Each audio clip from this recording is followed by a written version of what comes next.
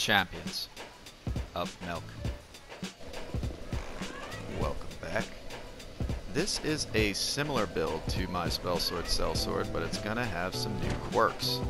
It is a Crystal Magic Warrior once again, but it's gonna be using the Friede's Great Scythe. And this brings some very interesting things to the table for a Dex build. One, it has Hyper Armor on its weapon art this can lead to some pretty brutal combos, and like the Spell Sword Sellsword using those Sellsword Twin Blades, it pairs extremely well with Homing Soul Mass for a lot of different reasons. The Homing Soul Mass can open up opportunities for not just whiff punishes and landing strikes at range, but forcing your opponent to roll and then capitalizing on that roll with this great weapon art that is quite good at roll catching. The disadvantage is the shittier run attack. So the one-handed run attack is not bad, but it's not quite as good as the Sellsword Twin Blades running L1 at roll catching, and you can't buff this weapon. So a lot of power is lost on the running attack.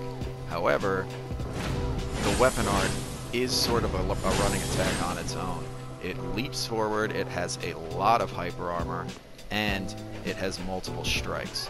So it's quite good at breaking the hyper armor of others. So quick look at the stats.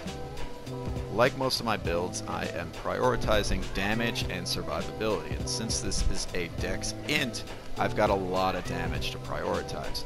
I hit the 40 dex soft cap, which gives you quite a bit of damage, and then I go for the 60 intelligence true soft cap there with the way that the scaling on catalysts and everything work. So it's quite a lot of investment in addition to the use of the rings, but it is worth it in my opinion. Having an extremely powerful homing soul mass to bring to the table sets up your weapon combos and gives you that threat at range, even through shields, that this build really needs. So that's why it's important to make sure that you have both survivability and damage because this build is designed to make trades, it's designed to cast spells, it's designed to use physical weapons, and that's a lot of stat investment required. So it really helps to use that Pyromancer class. And the new changes to the Prisoner's Chain and the Ring of Favor plus 3 also make a big difference in this build. So I'm kind of glad I waited to get this out, but at the same time I do apologize for the delay in this Friede's Great Scythe build. So, since it had that 11th faith requirement and the Pyromancer started with 14 faith, I decided to put one more in there to give me access to medium heal and some decent support and healing miracle ability. I was also able to get the attunement up to 18 for a modest 3 spell slots and 136 FP. So the FP is obviously not this build's strong suit, but instead of focusing on having more casts and more spell slots, I wanted to make sure that the casts I'm doing and the spell slots that I have are working to their full potential, with the exception of the Heal Miracle, obviously. Uh, obviously, Friede's Great Scythe, Court Sorcerer's Staff, I like. Even if you're shooting dark spells, this is going to do better for you than basically anything but that uh, Crystal Staff. The Murky Staff was not doing more damage with dark spells unless I used the buff on the on the Catalyst and it was still not a whole lot of extra damage. For backup weapons, the top two I'd recommend if you want something ranged, the short bow with its rolling and running attacks are going to help you sort of the way a Farron flash dart would, but with a little bit more utility in my opinion to be able to hold the shot if you need to, uh, or free aim it, quite useful. And the sharp dagger is another great pick, especially on paper. It's got that incredible low weight, high criticals, great ability up close, which are all things that the Friede's Great Scythe lacks. Quick look at the rings. Ring of Favor plus 3, as usual, gives you that HP, stamina, maximum equip load, everything you want. And basically the same thing over here on the Prisoner's Chain, and with that big reduction it gave uh, to your defenses is kind of taken away now, I would say this is sort of a must-have and really helps the build out a lot and gave me a little bit more freedom with the, the stat spread compared to before the Ring City DLC. The Bellowing Dragon Crest Ring, also a must-have. This is 25% damage for your spells. So if you want to be casting spells, there's no reason not to use this. And I also like to use it with the Young Dragon Ring since it stacks multiplicatively. That's going to be an extra 15%, 40% total damage to your spells. Very important with the way defense works.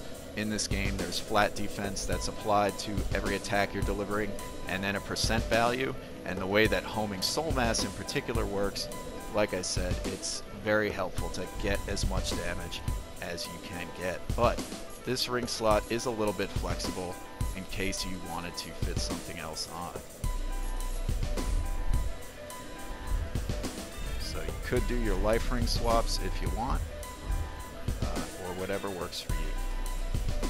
So a little bit of flexibility there with the rings, but to be honest, not a whole lot. And looking at the weapon just one more time, like I said, the running pressure, not great. This running attack, two-handed, makes me very sad coming from Dark Souls 1, where it was so godly, that attack, so godly. And so the, if you're using the regular attacks, one-handed is the way to go. A lot faster, a lot more range, a lot more utility. Uh, but two-handed, we've got our incredible, incredible weapon so that's going to help you out a lot and force your opponents to come into that with your annoying spells. And the only way to do that while two-handing it is with the Soul Mass type spells. So please take a look at my Caster Academy videos if you have not for tips for using those spells and maybe check out my Sellsword Twin Blade build uh, for basically a lot of the same tips of how this build operates, but let's get into the gameplay. So I wanted to do the gameplay section a little bit differently. Instead of talking about matchups like I do in my regular PvP list or specifically techniques for using spells like I've talked about in a lot of other videos, I wanted to talk about the different types of PvP you can take part in. So in Free For All, this build is very strong. It has a lot of range damage. It has the ability to heal itself with moderate ability and it can do some good burst damage, but nothing incredible. So I rated it a 2%, just because it's not super duper powerful either at range or up close. Similarly, with invasions, it's the same problem. You don't do as much burst damage as the Sellsword Twin Blade or a lot of other dedicated invader builds, which are really built on burst damage, a thousand plus damage. That's what you need when facing a host and multiple phantoms. Of course, you can still use the enemies, the environment, etc. to your advantage, but the lack of really strong burst damage, I gotta put this at a skin. Not the best at invasions, so let's get at what this build is strong with. Duels. Very, very good at duels, and it's also good at 2v2, which I'll talk about a little after this. But in duels, you bring so much to the table you have a very good long-range weapon. You also have the ability to use a lot of very cool backup weapons with the dex that you've invested. And you've got your Hyper Armor from the Friede's Great Scythe. In addition, we've got Homing Soul Mass. Just like with the Sellsword Twin Blades, this is the best spell to use on this build because it can fire while you're two-handing your weapon, and there's so many advantages that come with that. The spell is also very fast to cast and has a great deal of defensive and offensive ability. You can use it in a lot of different ways. It also handles extremely well locked off. In fact, it's much, much better to use the spell locked off, which means that you can aim your roll catches a little bit better once you get the hang of that. Using this scythe isn't too hard unlocked. The one-handed, it takes a little bit more practice, but the weapon arts, using the weapon arts with homing soul mass does not take a whole lot of practice, even if you're not super familiar with playing ball lock-on. So definitely brings a lot to the table, particularly against smaller weapons. Though if they can get in on you, something like a dagger in particular is very dangerous. And with ultras, you've got to be particularly careful. And of course, you can't use your weapon art as much. So whole milk if you know how to bring the tools you have to the table at the right time. So in 2v2, I've got a video that'll be coming out after this where I play this much more offensively than in this clip. But in 2v2, you've got the ability to heal. And if you can coordinate with your partner well, you are bringing so much to the table now because you've not only got hyper armor, you've not only got tons of range damage, but you've got that support function as well. So very, very fun build in 2v2, particularly if you're good at working with a partner. So I'm gonna definitely rate it a whole melt for 2v2. And I'm looking forward to sharing the more offensive brawl footage I got recently. That will be in my more general PvP playlist where it's just a lot of different random gameplays and commentaries using a ton of different setups. It'll be video number 69. Getting up there in those.